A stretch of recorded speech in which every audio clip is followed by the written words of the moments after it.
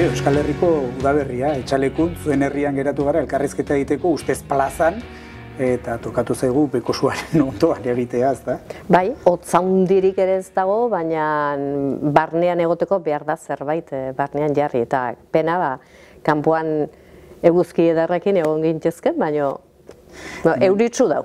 Hori da, hemen inguruan besaulki eroso batzu, toki aparta irakurtzeko eta asteko liburu bat aipatu nahi dizut, Jon Alonsoren hiri ondakin solidoak ez irakurria daukazun. Bai, baina aspaldizkoa ja bat urte batzu, beraz ez dut ongi gogoan, badakite bere estiloko liburu bat zela, e, lehen ere bazuen besteren bat egina, uste dut zintzuen saldoan zela, eta e, kritika egiten du, e, baina nik uste dut esagerazio hori behar bada soberaskore egiten duela batzutan, ez da? E, zintzoen saldoan, sukaldaritza egiten zuen gogoeta, eta beste honetan, Euskaltzaindia zuen, bai, e, bai. asko labur bildu zor lanbaz, bere betiko protagonista, bai. eta, eta aztergaia edo ikergaia, Euskaltzaindiaren barruko e, opakotasunak eta botere jokoak eta ikamilekak eta konspirazioak. Zuk orain e, barrutik ezagutu duzu Euskaltzaindia horren besterako alda? E, nere ustez ez, e, e, bueno, baina bere estiloa hori zen eta orduan liburuan ba, jarri zuen hori ba, batzundako behar bada mingarriare izan zitiken, baina e, niretzat bera ezaguturik eta berak nola egiten duen, ba, kritika bat egitea da, Eh, baina mm, toki eta bezala euskoltzen dian eh, izaten dira ikamikak, e, pentsamentu diferentiak, e, eztabaidak, baina nik uste dut opakotasun hori eta ez dagola. Ez dakit garai batean, akaso ba, mm, elkartzeko eta harreman horietarako eta bide gutxiago zegoen eta igual gehiago egon entzen, ez dakit. Nire ustez ez dago horrelakorik badaude diferentziak noski eta iritzi diferentiak eta hori dena, e, nik esain nuket jaia toki guzietan izaten dela batzutan gehiago, este batzutan gutxiago, eta toki berian ere, mm, garaien arabera edo gaien arabera ere, ba, tensio momentuak ere izaten dire. Bai. Eta bazkaltza india horietako batean, Jon Alonso aipatuzkero, e, erreakzioa, gainontziko euskaltzainena zein? Ez dakit nik ez dut bereziki, ez dakit irakurria duten ere denak, ez dut bereziki entzun horretaz komentario handirik. Mm. Bueno, Euskal Zainburuek Euskal Zaindian joera agintaldi luzea ukitzeko, azkuek hogeita mabi urte eman zituen, horre Euskal Zainburu, e, aritxelarrek amabost, urrutiak amazazpi daramatza, iruzkinik, E, ez dakit, nik uste denetan bezala aukera badagola aldatzeko eta e, egiten dire laurte eta behin egiten da e, proposamena, e, norberak e, aurkezteko bidea badu eta mm, nik uste du momentu honetan mitzat e, urrutiak bete izan duela e, ongi, nik uste du beste, beste joera bat edo jarri duela Euskal Zaindian, e, diferentia, igual mm, behartzen aldaketa, eta hori dago, eta nik uste dut ongiari dira egite, momentuz e, bera dago, ez dakit. E, beste toki askotan ere, e, e, ba, ni, ni neu, kampionen ego naiz, naiz eta e, mm, nolabait, e, igual, horrez genuen hainbesteko eh ez dakiz zuzendaritza bat, ez dakiz zer. Erakunde horizontalagoa da, Arturo. Horiz, horizontalagoa da, baina esan nahi dut kargu bezala eta izen bezala e, uste asko zegoen naizela eta beste batzuk egoten dira beste, beste toki batean, ez? E, berdintza eta alderdi politiko batean edo zeinetan. Orduan, kargu batzuk ematen du, bueno, jendeak ezagutzen du, konfiantza beregan jartzen du eta urrengoan ere segitzen du horrela, ez? Orduan, nik uste dut aukera badagoela aldatzeko, eta beraz ikusten bada e, baten batek aurkezten badu eta gainerakoak ikusten badugu ba, horri eman behar diogula, horri emanen diogula, eta ez nau gehiagik ezkatzen e, afera horrek. Hogeita lau euskaltzain oso izatetik, hogeita mar izatera pasagara, aski berrikuntzarik ekarri du horrek? E, Nik uste dut, e, aldaketa txiki hori sartu zenean ez nitzen hor, baina ez da hogeita lautik hogeita marrera pasatzea bezik eta e, jarri zena zen lehen zen Euskal Zein bat hilarte, bai. esaten dugu, etzen izendatzen beste bat, eta hori pixkat e, aldaketa gehiago izan zedin, e, esan zen, bueno, ah, hilarte, hilarte ez gara egonen, bezik eta iru erogeita urte bete arte, eta beraz, hogeita lau izaten segitzen dute, irurogeita amabostetik berakoak. Mm -hmm. Irurogeita amabostetik gora, ba, ja, badire beste batzuk emeritoa deitzen direnak. Azken mola honetan, e, itzorrek ez da ezote duen hartu konnotazio gutxi eslea. Gutxi eslea, nik esan ez. Ez eskatzen dian ez, eh? Espainiako regearen gaten. Eh, bai, ja, ja, bai, bai, bai, izan ditik horren gatik. Txiste merkea, bai. Bai, momentu ondan nahi zoroitu nortzen emerito, emerito, e, gure Arira, arira bai. itzuliko gara, bai. beste modu batean e, galdetuko dizut, aski berritu alda Euskal Zaindia azken urteotan? E, beti muga hori hor du, ezta? E, eta jendea ba, bestetik izendatzeako momenturen batean tokatu zen segurazki ba, asko garai beretsuan edo ez dakit izendatzea. Orain ikusten dena da, nik uste hiru urten buruan ba, aldaketa handia etorriko da, ba, amabiren bat edo e, sartuko dira berriak. Prozedura honekin segituz, bai, bai, bai, eh? ez bada aldatzen. E, askiden, ba, ez dakit, nik uste dut behar direla esperientzia dutenak, ezagutzen dutenak, eta e, Euskaltzaindian lanean aritu direnak eta egin beharreko lan hoiei erantzunen dion jendea izatea.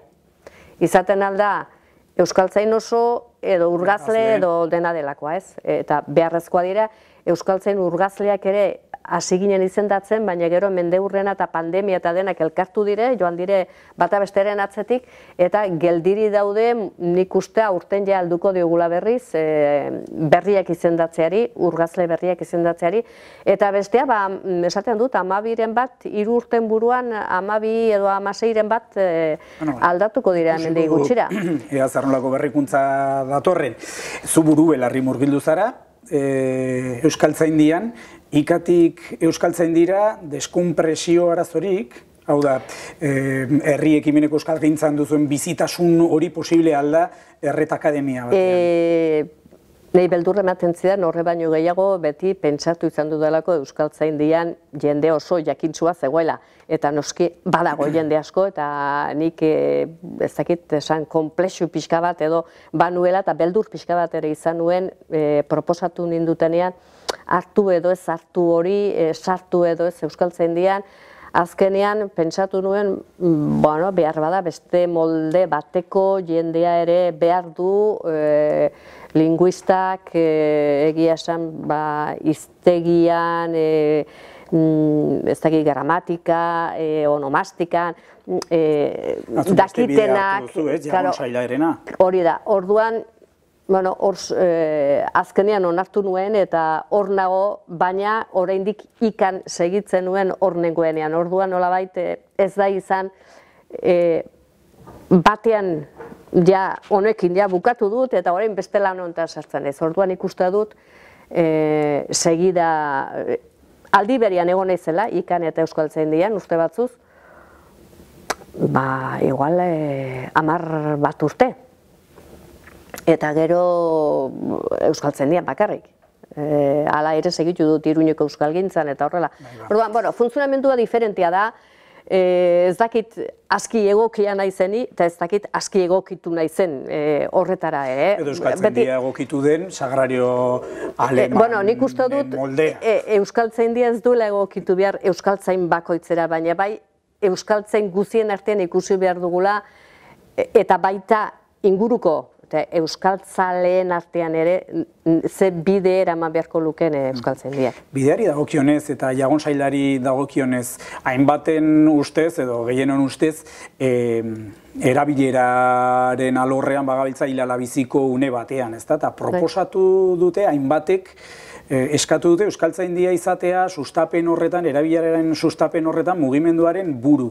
Zer iruditzen, eh, eskaera hori? bai, e, ni gogoan dut bat baino gehiago izan, zile, izan zirela proposamen hori beren artikuloetan eta bai.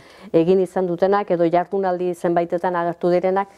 E, nik uste dut Euskaltzaindia egon behar duela e, alde neurrian laguntzeko, Euskaltzaindiak badu izen bat edo ospe bat e, neurri handi batean e, onartua e, jarriko dukako txartean oski kritikak eta badira beti, baina onartua dela populazioaren gehiengoaren gandik, eta bai Euskaldunek ez diren, Euskaldunak ez direnen gandik ere, e, instituzioen aldetik ere, badu e, babesa, azken batean instituzioek sortu zuten, eta alde hortatik komenigarria da, baina aldi berian, Euskal Zaindiek uste dut, oreka ekilibro zerbait ere egin behar duela. E, darteko zerbait, e, babesa e, behar dutenean edo eskatzen dutenean Euskal Gintzako taldeek edo zerbaitetarako nik uste dut hor egon behar duela, baina ez duela egon behar edo ez duela inolare Euskal Zaindiak beste talde batzuk, Euskal Gintzako talde batzuk egiten duten lan hori, lan hori e, horren nolabait e, usurpazio egiten edo. Nolabait bakoitzak bere bidea egin behar duela, bere autonomia behar duela, eta momentu batean babesa eskatzen badute edo babesa edo laguntza edo, edo elkarrekin zerbait egitea, nik uste dut Euskal Zaindiak aztertu behar duela eta ikusi behar duela e, e, egiten alduen lan hori. Nik e, kasu honetan ez dakit batetik ulertzen dut proposamena, e, behar bada egin beharko luke, baina ez dakit e, arras guziek hori ikusten duten eta batzuk ezote duten ikusiko hauek nire ere muan sartzen ari dira ere. Horra aldaketa batzu izan dira, izan ere, e, ohituta ginen mm, administrazioa batetik, herri ekimeneko euskal bestetik, botere kontra botere dinamika bat, biztan hori aldatu dela azken urteotan, beste beste euskaraldia bezalako ekimenekin, horre nola da kontua? E, elkarlana da, bide bakarra? Ez, nik uste dut bakoitzak, eh, lehen Euskal Ziendiekin esan dudan bezala, bakoitzak bat duela bere funtzioa eta egin behar dutela. Eta gainera batzutan e, karga bat ere izan daiteke e, instituzioen menpe jartzeko arrisku bat ere egon liteke. Mhm. Azken batean, bitarteko gehien duena eta e, babes legala ere instituzioak dira. Ez? Mm, orduan, nik uste dut, elkarrekin bai ari behar dutela eta beharrezkoa dela, elkarrekin aritzea, baina gero bakoitza bere arloa ongi e, defenditu behar duela.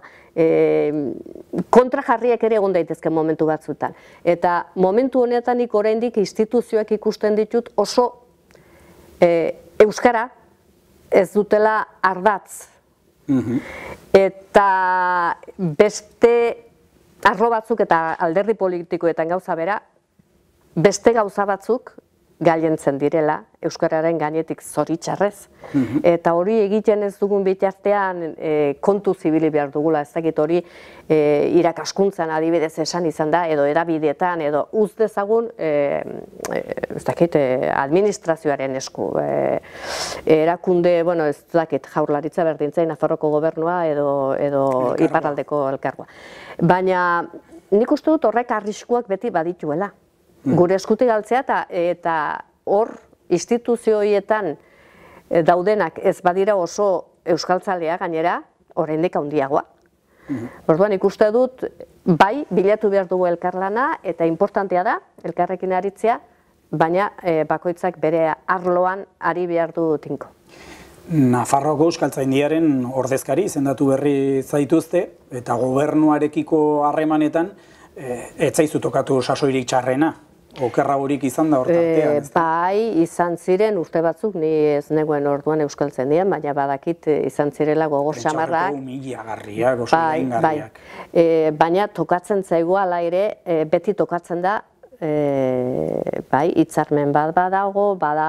Hori izan barri zuen, ez? Une honetan badagoela itzarmen bat. Bai, orain sinatuko da urtengoa, e, 2008 batekoa, uste dut atorren hilean edo sinatuko dugula, orduan, E, bai, hitzarmena badire, elkarrekin aritzen gara lanean, baina gero momenturen batean zerbait ikusten badugu, gure ustez e, ba, gobernutik edo mm, dena delakoaren gandik, ez dela oso erabaki zuzen hartu gure ustez Euskararen arloan, ba, mm, esan behar izaten dugu askotan, ba, Euskal Zaindiek adierazpen bat, baino gehiago egin ditu, nik esan nuke iruro gaita maseitik aurrera, ez dakizen bat izan diren, baina erdiek baino gehiago direla Nafarroari dagozkionak, eta hor, e, asko dira, bueno, irratiari, frekuentziaren bat baino gehiago, baina azkenekoa, e, oren gutxi, txibiteri, txibite Andriari, bidali genion, e,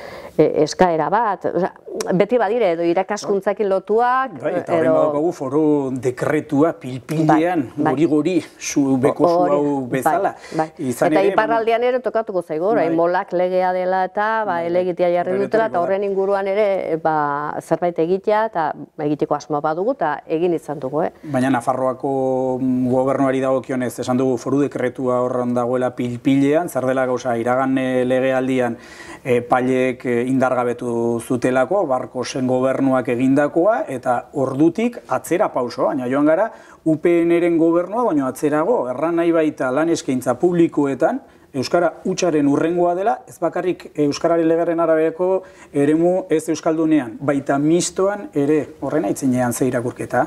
Ez dakit nik dut, e, gora bera handiek izaten dituela, baina Nafarroan beti bera gehiago egiten duela gora baino. Eh?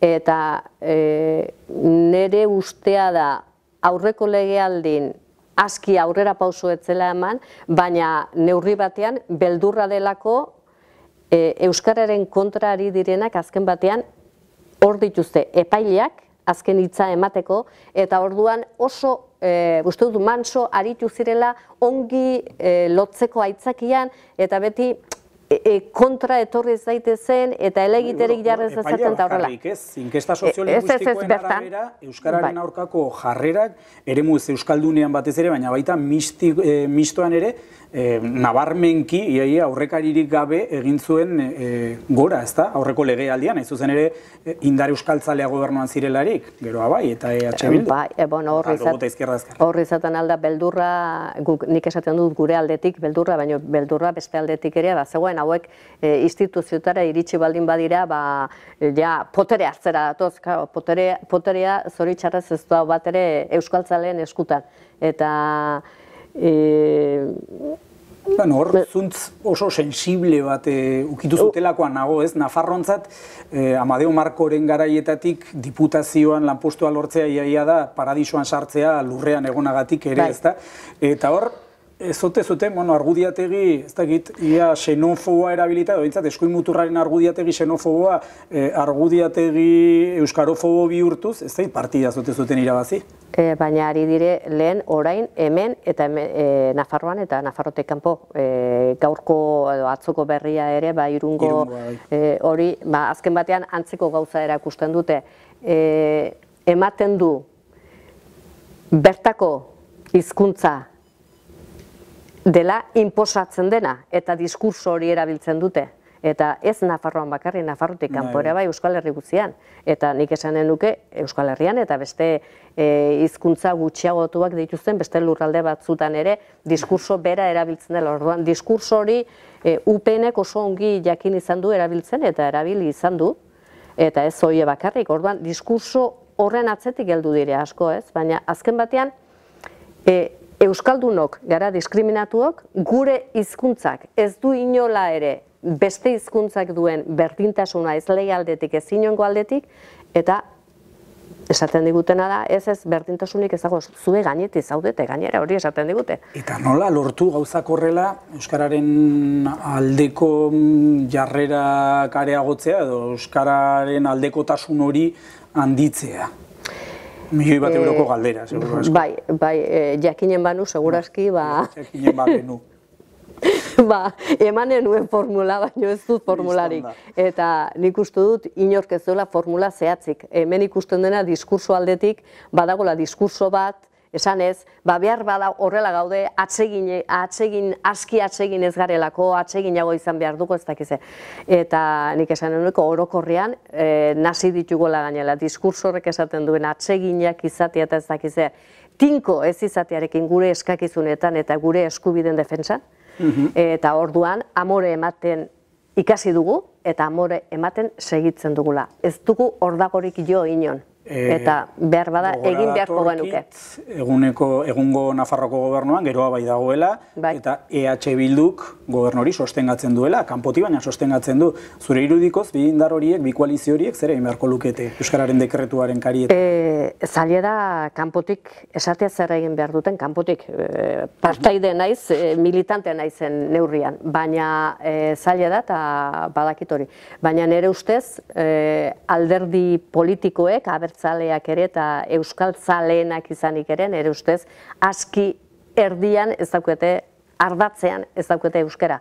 Orduan beste gauza batzuk gailentzen dira eta hor dago, ba ezakit, gobernu eskuinako gobernu bat baino hobe da gobernu hau adibidez, ez? Nik uste dut horrekin jokatu zela, aurrekoan jokatu zen bezala, aurreko legealdian ezker batu aurtzegoen, ah, guk esan genuen denok. E, orain, Euskararen lege hau da, Euskararen ofizialtasuna Nafarro guzian erdietxiko da esan ziguten ez, ezker batua ez dago ados. Orduan, amor ematen dugun ere ustez, hau do, gauza baten edo besteren izenean, eta esaten genuen, mm, ezin bada hori akaso, elkarrekin jokatuz, aurreratu dezakegu zerbait. Eta nik ez dut esaten, pausoi txikiren bat eman etzenik eta eman ez daitekeenik.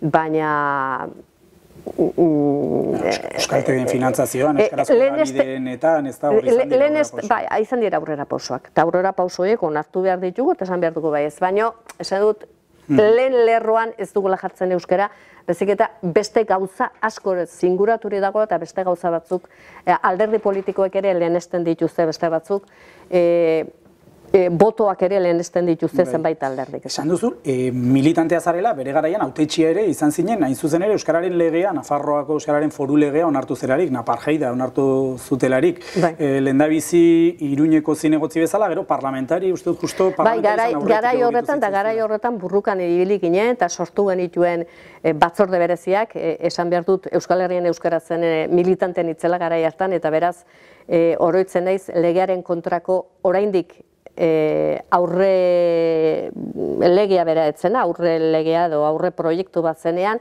ez da, e, izan genuela egin genituen olako ekintza txiki batzuk iruñeko karriketan barna aldezarrean, e, nik uste kateatu ere egin ginela parlamentuaren aurrean. Bandut zela, Nafarroko bai, gobernuaren, Nafarroko jauregiaren aitzina, hortxe, bai, hortxe kateaturik bai. egon itzela. Orduan, esan nahi dut, ikusi ikusten genuen, baina gure esku etzen egon, Eta nik esan den duke... Da zerbaitagatik, hor badakizu mistoa izan ote zitekeen dena, edo ez, eta eh, orduan...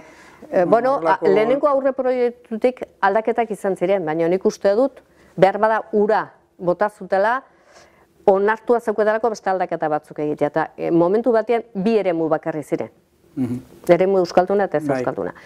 Gero sartu zuten hirugarrena eta sartu zituzten adibidez hau, e, imotz, ba, e, e, e, ere mu ez euskaldunean zegoen, eta sartu zuten, eta horrelako bakar batzu sartu zituzten ere mu hortan, eta nik mhm. uste dut aldaketa hori egin zutela. Mm, e, segitzen dugu, modu batez edo bestez, euskara ofiziala izan gabe. Eta gogoratu behar dugu parlamentuan, mila bederatzen eta laro uste dut izan zela, onartu zela, e, onartu zen e, botazio bat egitzen eta alde gehiago ziren e, euskera ofiziala izan zedien Nafarro guzien. Eta azterketa batzuk egin zirenak, e, azkona, Jesus azkona, azkona izan zen egin zuena azterketa bat, eta bere txostenean bukatzen zuen esan ez, Nafarroan, noski badira aldeko eta kontrakoiek, baina inunko zonaldetan ez dago e, kontrakotasun olako hain nabarmena ez onartzeko lege bat. Gero, aplikazioa izanen da diferentia. Nik uste dut hori zela berek ateratzen zuen ondorioa. Baina Madrile joan ziren parlamentari batzuk, edo parlamentari parlamentariak uste dut zirela, ez zuten e, e, parlamentuan onartutakoa ez zuten ara eraman. Ikustu Nafarroan horren berri badugula, ez? Bai, bai. Gauza bat onartzea bai, eta gero gero batzuk traizioa traizioa egitea edo bueno, beste garai batean ere. Ba, euskal adibideak. Gogora datorkit aurrekoan e, Arturo Kampion Euskaltegiaren urte hurrenaren, e, bueno, berrogei tamargarren urte karietara Patxi Zabaletak eta Iñaki Zabaletak artikulu bat plazaratu zutela, bai. bat egun karitan. Bai. Tartan zioten, nekez imaginatuko zutela duela menderdi Euskaltegia sortu zenutelarik, e, menderdi edo berrogei tamar urte igarota Euskara etzela ofiziala izanen Nafarro osoan. Ba, da, esaten duen, e, e, pausoak eman dira, nik uste dut, irurogeita marreko amarkada hori oso e, mugitua izan zela zentzu guzietan, e, kultura arloan, e, langileen arloan, arlo guzietan mugimendu handia izan zen, eta nik uste dut, bai, bai, bai, bai, gauza asko izan ziren, no? no, pentsa San Fermietako istiluaiek ere orduntxo gertatu ziren, eta guztiak eta gauzek. Bai. E, e, mugimendu handia zegoen, eta nik uste dut, e, pentsatzen genuela, aurrera eginen genuela, eta esaten du, larogeiko amarkada horretan, parlamentuan esan zen, e, euskara ofiziala Nafarroan, eta e, erdiesteko bidea bat zegoela, eta erdietziko genuela, nik uste dut, sinesten genuela, eta berrogeita mar urte pasatu dira, eta irakaskuntzan izan dira behar bada erdiespen haundienak, baina ala ere, oraindik gaude, e, hainbeste urte pasatu ondoren, laro geita zeian onartu legea, eta hogeita batean, bi mila eta hogeita batean, oraindik Nafarroko aurren euneko hogeita marrak baino gehiagok ez du ikasten mhm. e, Euskara ulertzeko moduan ere. Diaz nahi zari hitz egiteko, ulertzeko ere. Ez, ez da horti pasatzen. kampion euskaltegia, ipatu dugu berrogeita mar urte euskaltegiak eta zu horretan lanean zenbat? E, irurogeita amabitik ba, izan daiteke? E, e, bai, irurogeita amabitik, gero tartean Madrilen egon itzen urte pare bat, han ere batean dituen bai, klaseak, e, andosila sartagudan egin nuen beste urte bat, sakanan egin dituen beste bi, eta gero berriz ere... E, bai. bizitza oso bat hor lanean eta bai, zuzendari. Bai, helduen Euskalduntzean. Baldintza ekonomiko oso zailetan. Zure adinarekin, zure ikasketekin, zure referentzialtasunarekin, zalantza izpiri gabe, ba, zenuen iru mila eurista izaterik. E, zergatik autu hori, hor segitzeko erretiroa hartu arte? Ez dakit, niretzat e, autua etzen inoiz, ez da inoiz izan, eta orain ere ez dut egiten e, autua diruaren gatik, nik sinesten dudan gauza horien gatik, eta benetan aldatu nahi ditudan e, gauzen gatik egiten dut, eta e, niretzat e, Euskal Herrikoa izatea, eta gure hizkuntza ez defendatzea, eta gure hizkuntzan ez bizitzea, ba, oso gogorra zait niri, baina e, e, erabaki askorekin, e, atzo ba, atarrabiakoa eta irungoa eta entzun dituenean, esan dut, eske, kasik min fizikoa eta guzi sentitzen dudala esan dezaket. E, irutzen zait, ni izateari, ni nor izateari, uko egitea baliz bezala, eta e, ukatzen autela beinta berriz, eta nik uste dut hori ez, ez dela onargarria, justizia kontua dela. Eta nik uste mundu honetan justiziaren alde egin behar dugula guzia. Eta hori oso argi zenuen, oso txikitatik, orentxe gogora etorri zait, e, elkarrizketa prestatzeko irakurtzen ari nintzela eta pasadizo bat irakurri nuela amairu urterekin kolegioan, mojen kolegioan, moja bat hasi zela e, historia irakasten eta bisigodoak eta erromatarrak eta musulmandarrak aipatu zituela, baina euskaldunak ez, eta matxinatu zinela. E, bai, bueno, horren aurretik izan nuen herrian berian ere besteren bat, naiz eta nik uste dut orain e, maistra arek e, segurazki ez duen berdin pensatzen, e, baina momentu hartan behin e, naiz orduan telebista bakarra zegoen herrian apezaren etxean. Eta joaten ginen ara ikustea eta joan ginen pilota, oi, pilotaz futbol partida bat ikustera, e, Suedia eta Espainia zirela uste dut, eta ni Suediaren alde jarri nintzen. Ba, Suediak ez ninduen zapaltzen, zapaltzen ninduen besteak. Orduan, e, esan zidean batek, e, adiskide batek, lagun batek, e, ni bezala aur, aur batek, esan zidean, zure buruaren kontrari zera, eta ez, ni ez naiz nire buruaren kontrari, ni ez naiz espainola, esan nion. Eta maestrarek Gero, eskolan, hori eskolatik kanpo gertatu zen, baina eskolan esan zidan, ez dizut aditu nahi berriz horrelakorik esaten. Orduan, lehenbiziko hori izan nuen hor, ez dakit, eh, amaika bat urte izanen itxur, eta gero, eh, bigarrena izan nuen, eh, egia da, kolegioan, eh, jarauta karriken aritu nitzen Dominiketan, eta hor, etorri zen historia eta historia aurrea, eta ez dakit, eta hasi zen tokatzen zen egun hortan honbait, ba, ze, ze, jendek pasa, ze jende pasatu den Iruñatik eta Nafarroatik eta hola, eta hasi zen batzuk eta besteak aipatzen, eta esan gu hemen gaude, eta goie guziak arrastuak utzi dituzte, e, guziak aipatu dituzu, eta gu, hemen gaudenak, hemen bizigarenak, eta hemen biziginenak, aipatu gabe nola daiteke hori. Eta bueno, e, pasatu zitzaigun ez dakit ordu bateko eskola izaten zen edo zen batekoa pasatu zitzaigun ba, bien arteko eztabaidak Data bat ere aipatu nahi nizun, sagrario, laroita bederatziko ekainaren hogeita marra hori entzun da zer datorkizu gora? E, ba, aekatik kanporatu gintuzten urtea, baina aurretik ja mm, giroa barnean oso oso zaila zen eta mm, nik uste dut ja horren giro horren ondorio bezala ikus genezakela e, etorri zena. Nik esanen nuke gainera tarte hortan e, ni buru belarri ibili nitzen, e, gure postura defenditzen, e, arata ona mugitu nitzen, baina ikusi nun ja ez genuela diauz egiterik e, erabakia hartua zegoela, e, nahi behuzu militarren, bat ere etzezki gustatzen militarrak, eh? baina militarren simil bat eraman ez, e, uste dut e, generalak eta kapitanak zirela e, gu botatzearen aldekoak oso zutsu aritu zirela eta soldaduak berotu zirela. Eta azken unean, nik esan nuen kainean berean, e, atzera jona izan zutela general edo kapitan horiek eta soldaduak ez zuten onartu. Eta urtean da nahi garo den honetan, gaindituta, azauria itxita, e, bai, handia, e, nik, nik uste dut geroztik, E, Zuritzako pertsonalki diote, bai, bai. oso prozesu mingarria izan zen. E, oso, oso mingarria izan zen, eretzat e, azken bi urte horiek eta ondoko urteak ere bai, gainera hor tartean genuen e, korrika bezalako ekimen izugarri politian ikuste dut Euskal Herrian egiten den politienetakoa edo politien azpada.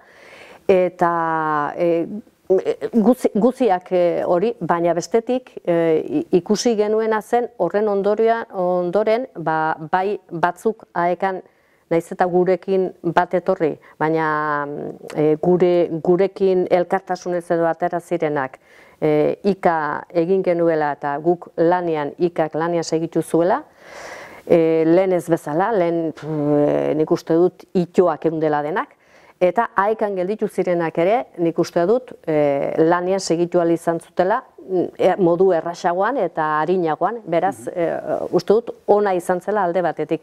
Bestetik, bai, sufrimendu hori dena, bai, ezagutu duzu, izan duzu, bizipen hori, eta horrekin austea gogorra da, eta saiatu ginen, e, zenbait urtez, e, bueno, nolabaiteko negoziazio txiki bat edo egiten, ez zuen horrek... E, nahi bezala aurrera egin eta gero egia esan azken batean e, problema asko izan genituen na, tartean Nafarroko gobernuarekin ere ba, subentzio bai. pirrildoiek eh, jasotzeko ere eta bateginik jokatu behar genuen eta eta bide luzea egin dugu nik uste dut elkarrekin mm, ba, bakoitza bere, bere arloan, bere moduan lanean, baina gero zenbait gauza askotarako elkarrekin aritu izan gara eta egia da gero koordinatzailearen arabera ere harremanak hobeak edo okerragoak izan direla. hori hori beti, beti izaten da eta eta gure hortan ere ba ni gogoan ditut ba ezak eta adibez aitzi sola bat edo Elena Etxalar ba harremanak oso onak izan genituen biekin naiz eta e, gero behar bada gure mhm. negoziazioetan ados jartzen ez ginen baina harremana oso oso ona izan zen. Adibidez bi pertsona horiekin bi aipatzearren gero batasuna aralarzatik eta ere tokatu zitzaizun. Zer da kontra daukaguna? Farroan izan ere, zatiketa guztia gurean gertatzen dira. Ea jota eta earen artekoa, ere, bai, UPNZDN, ez dakit, uretan edo, edo non bueno, kontua. Se, segurazki izan dira beste toki batzutan ere zatiketak eta segurazki izaten dire. Nigo gogoan dut adibidez gu aekan ginela osongi moldatzen ginela bizkaitarrekin. Mhm. eta, bueno, ez dakit, e, gero batzutan esaten dut, gipuzkoarrak eta nafarrak alde batetik, eta ez, ez beti, e, nik uste dut denetatik izaten dela. Eta hor, ba, e, momentu horretan, e, batasunak zeraman, batasunak momentu hartan nola zuen izena? Batasuna, zera, batasuna, batasuna bai, esan nahi dut, momentu, momentu hartan berian ezakit zigur, hainbeste zoritxarra hainbeste izen hartu behar izan zituen, ba, ez gundela ados eh, ezker abertzaleko mm, talde horrek edo ez eraman eh, bidearekin, eta orduan barnean, nolabait, iritzi kritiko bat, eh, nahi bada egina izan genuen, eta azkenean ba, kanpotik egin behar izan genuen hori bera. Eta nik uste dut, e, bere ondorioak izan zitula, ez dut esan e, e, etaren armak ustea e, horrengatik gertatu zenik, baina nik uste dut horrek ere izan zuela mm, garrantzi dat. Euskaltzen dian ez den hori bera gartatu agit sare sozialetan etzarela ibiltzen, baina bago turbotzen, turbotza handia izeneko e, Twitter kontu bat oso, oso gomendagarria. Noiz baitere sar zaitez, ze oso, bueno, aditz trinko imposibliak proposatzen dituzte, eta Euskalkien anabaz e, sekulakoa, eta bueno, oso identifikaturik sentitzen naiz, oso turbotza handia zan. E, ez baitut ezagutzen ez dizut esanen, baina nik e, ez da bai da hoiek, eskoletan ematen zena publikoa pribatua edo edo euskalkia euskara batua nik e, beti esaten dut sentitzen dut baina eztabaida horietan ez du sartu behar ez delako gure eztabaida hori. Hori da kanpotik sartzen diguten eztabaida eta benetako eztabaida hemen da euskara ala erdararen frantsesa edo bai. gaztelea. Nik ustut hor dagoela benetan koska eta horri eman behar digula garrantzia. Gero iritzi diferentek izanen ditugu barnean eta jokatuko dugu, baina baina hor dago benetan e, apostua. Bada, sagrario mi esker elkarrizketaren gatik, egin duzun lanaren gatik, egiten ari zaren lanaren gatik, eta eginen duzun lanaren gatik. Bueno, eskerrik asko zuei. Gaurkotasuneko gaiak poltsikoan aldizkaria ostiralero doan eskuko telefonoan eta tabletan. Deskargatu aplikazioa. Egin txap, irakurri, ukitu, ikusi, entzun.